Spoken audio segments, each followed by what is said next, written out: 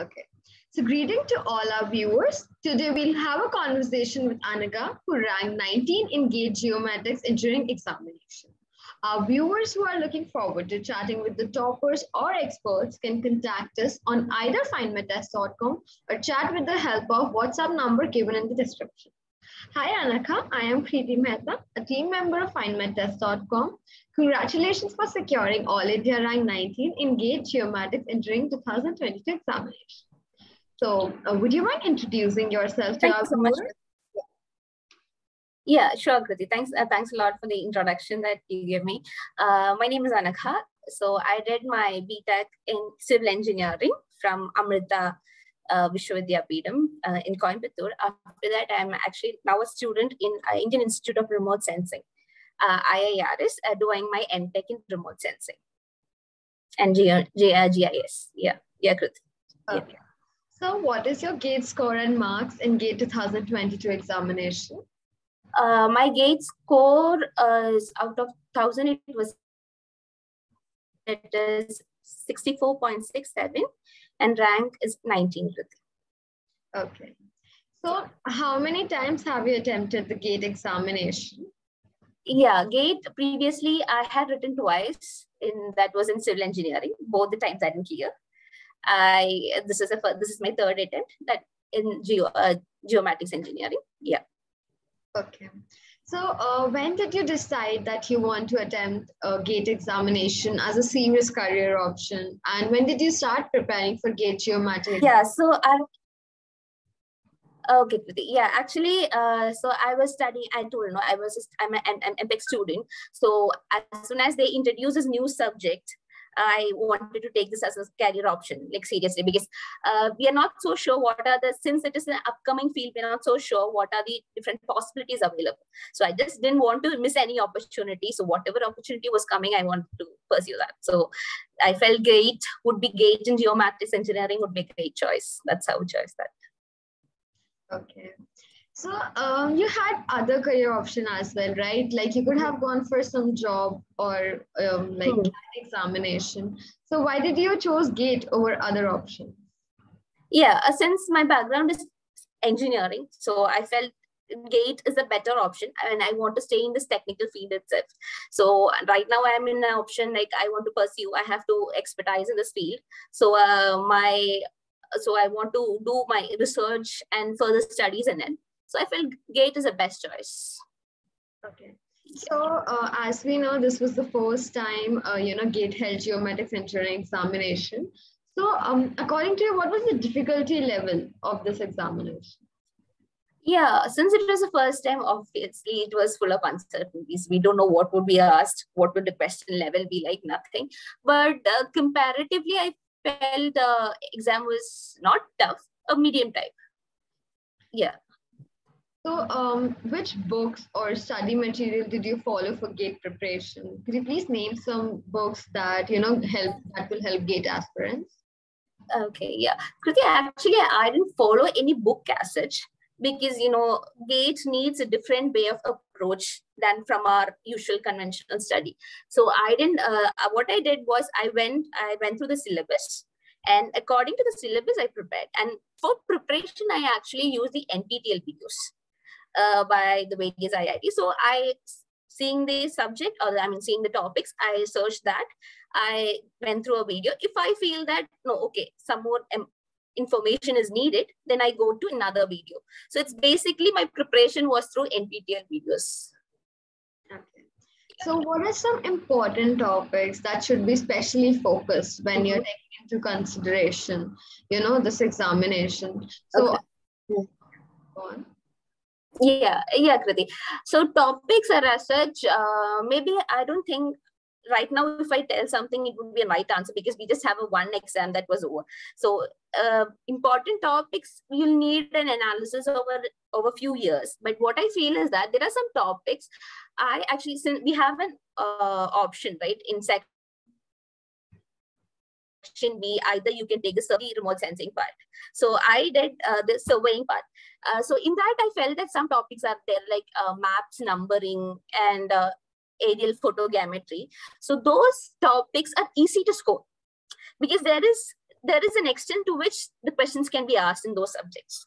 So if you prepare and if a question comes, surely you'll be able to do that questions. So those are a few of the topics like uh, map numbering, then aerial photography, uh, aerial photogrammetry, few areas are the ones which I feel that are important. And apart from that, in the comment section, uh, GPS, GPS and GNSS part is also important because we had few questions and there can be, I mean,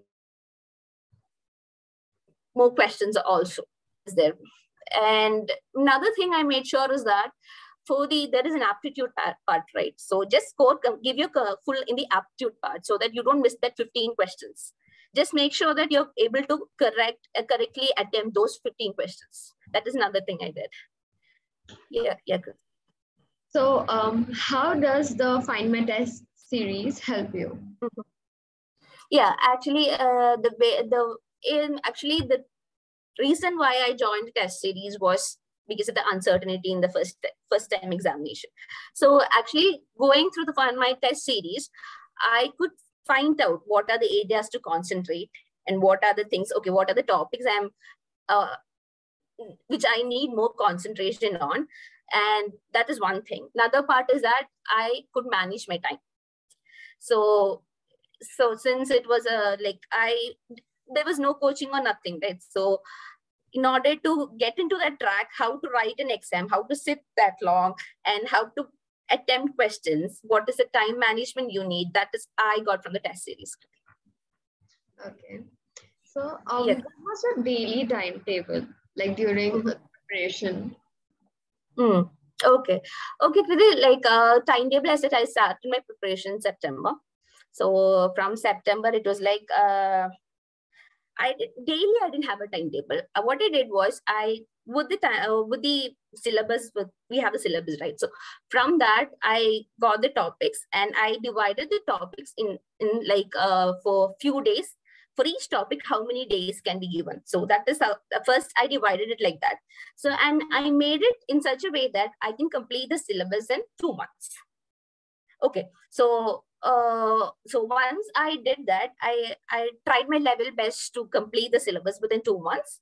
Then I went for revision. That is what I did. I and daily there is nothing like daily timetable. What is what I did some I did something like it was flexible kind of thing.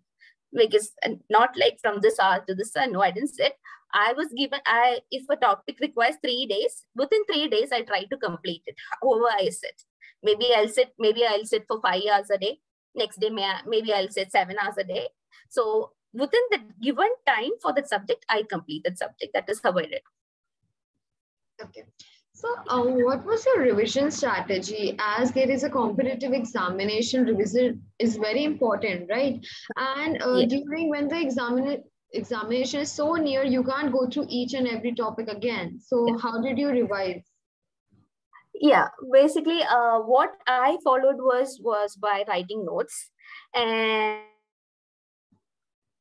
and yeah as you correctly the final time it would be like so much so you won't be able to go through everything. So what i did was uh, once i created a notes for my after i mean after the first preparation there are some topics which we would always remember. And there are some topics which we won't remember so what I don't remember, uh, what I made another notes, a short notes for that. And not just no, notes for that things. And while attempting questions, you'll get stuck in some questions. How much ever you try, you may not get it. So just the solution also, you I, I what I did was I just okay mentioned. So if this is a question, this is how. I just mentioned and kept. So made a short note like that and yeah that was what finally i revised.